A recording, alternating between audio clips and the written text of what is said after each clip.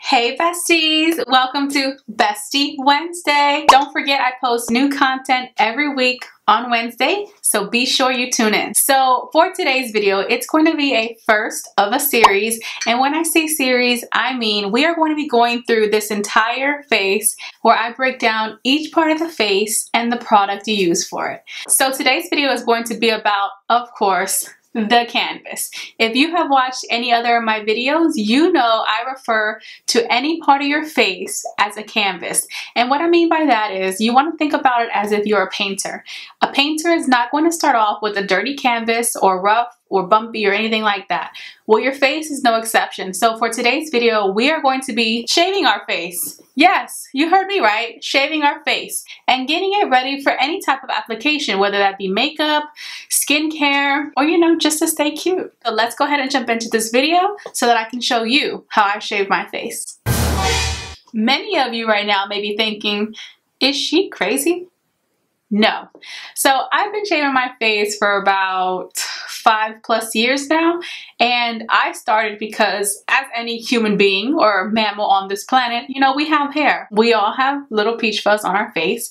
And some people don't mind it, but me personally, I don't want any unwanted hair on my body. So to alleviate that, I have been shaving my face. So to start with, I don't really have anything on my face right now. I'm going to take my cotton round and I'm going to be putting the Tarte micellar water and using that to clean off any other bacteria on my face. Please make sure that your hands are sanitized before you do this because you are touching your face so you don't want to be adding any extra bacteria. So this is what it looks like after. I did have a little bit of concealer on my face. I had to run and do an errand before I started filming and I didn't want to look like I was dead because these circles have me looking like I haven't slept in years. So that is why it is this color. It's pretty much like you sanitizing your hands. Well, you're sanitizing your face by applying that micellar water, or you can use toner, whatever your skin prefers. My skin is pretty much sensitive,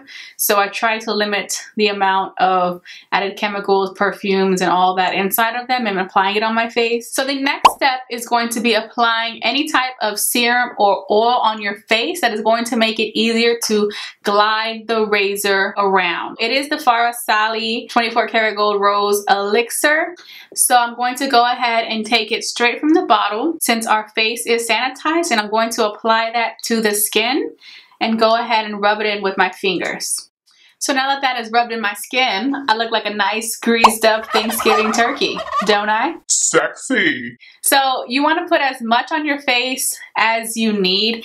I like it to kind of still be very oily. That way the razor glides along the skin very seamless and smoothly. I'm to go ahead and wipe my hands off because that oil gets everywhere. Another reason that I like to apply the oil onto the skin before I start to shave it is because it helps to lessen the amount of pulling that the razor is going to be doing on your face. And being that this is on our face, the more you pull, the more sagging you're gonna get and wrinkles and lines, and we don't want that, okay?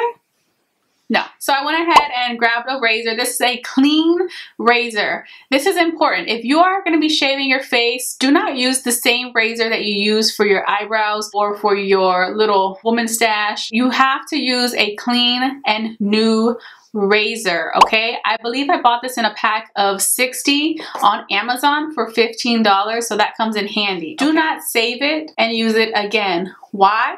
Because you're gonna have bacteria that is going to build up on the razor and it's just gonna keep growing growing and growing.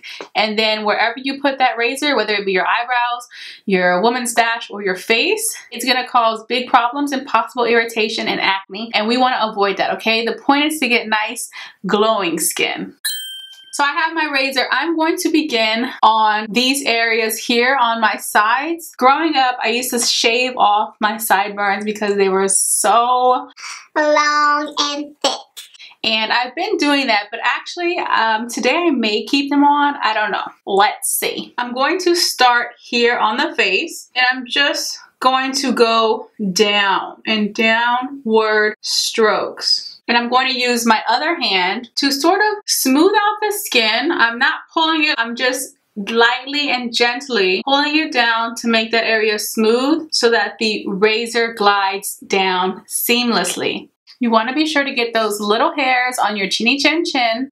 Of course, we want to get our woman stash. I don't know about you guys, but I have little peach fuzz right here on the outside of my eye. So I definitely make sure to get that. So far, there's like a little bit of hair coming off. You can't really see it. It is a little microscopic, but it is there. And for your razor strokes, it's always going to be going downward motions.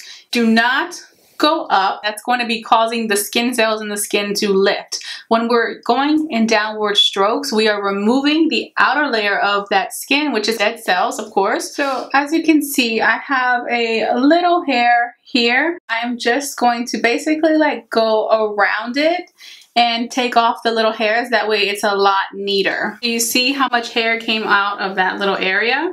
It's kind of like I'm giving myself a mini edge up right here. And yes, my skin is turning red just because I told you guys I have fairly sensitive skin. So any pressure or any type of touching will turn it red because of my rosacea but it doesn't hurt and the fact that we're going in one stroke in one direction is not really disrupting the skin. Now, when you are going in with the razor, it's going to be light-handed. You want to think angel hands, okay? Very lightly delicate. So this area is now cleaned up. So this is the one I have already edged up, and this one I have not. See how this one looks more cleaner, neater? This one just looks like a mess. So we're gonna go in and clean that up now. I'm just using my other hand to move the hair out of the way.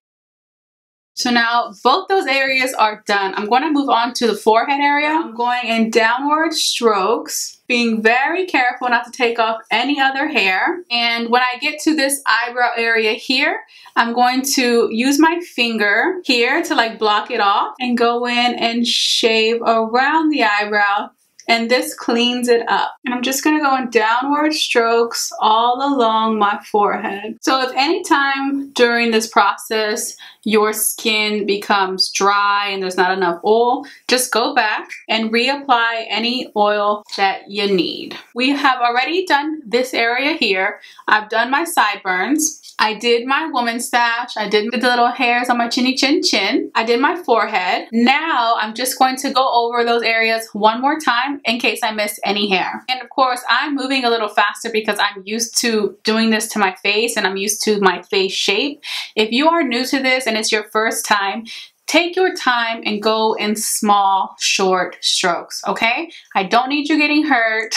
and I don't want you cutting off any unwanted hair that you don't want to be gone. You will see all the gunk that comes off of your skin. It's gross. But the good thing with shaving it is that we know we're getting it off and we're getting a whole new layer of skin after shaving. So I am now done using the razor. I'm going to put the top back on there and this is now going in the trash. I am not going to save it and use it again because like I told you, you're going to have bacteria growing on this and more than likely the razor portion on here is going to start rusting. You do not want to put anything that is rusting on your face or that has bacteria. We want to stay clean and sanitized, remember. Going back in with, with a clean cotton round and the micellar water, I'm going to wipe my face and take off all that oil I just put on there and clean it. I'm just going to now let that dry.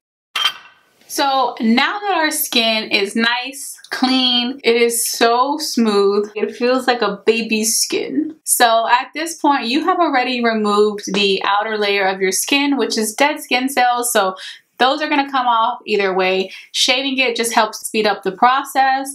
And of course, you get rid of the unwanted hair while you're doing it. So at this point, our skin is thirsty and we need to rehydrate it and nourish it, okay? This is the moisturizer I always talk about. It has my added SPF of 30. You always want to be sure to have something with SPF in your skincare.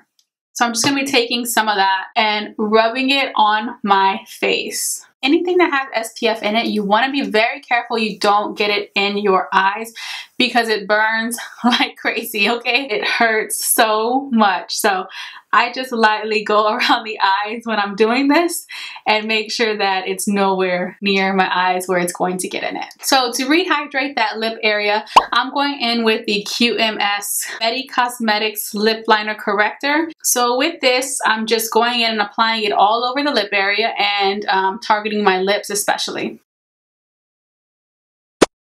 So right after I use that lip serum, I'm going to go right in with my Vaseline Lip Therapy and I'm just going to apply this on the lips. That way they're not dry. I don't want you walking around here with some crust busted lips, okay? That's not cute. So you made it through the first video of the series on shaving our face. What do you think? Can you tell a difference from beginning?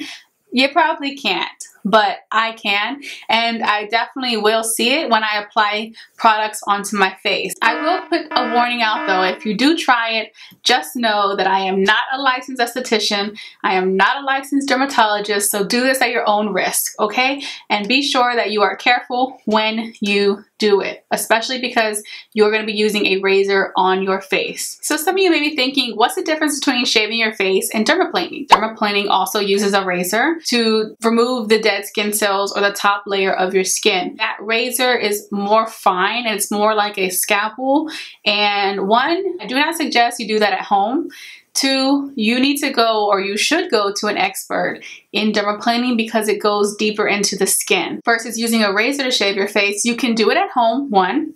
Two, it's pretty cost effective because dermaplaning can be up to $150 and over to get done. And you know, with a razor at home, like I said, it's affordable, it's easy to do, and it's just as effective. Like this is not something new. It's still new to us here in America, but other people around the world do this and practice this sort of skincare technique for the same reasons that I'm telling you. Smoother skin, products apply better, you're removing the outer layer of your skin, which is those dead skin cells. So if you're using any type of cosmetics or beauty product, like skincare, um, any serums, any oils, a face mask, it's going to be able to penetrate your skin at a deeper level because we already removed that outer layer of skin. So I do invite you to try it. It does work and my skin is super smooth.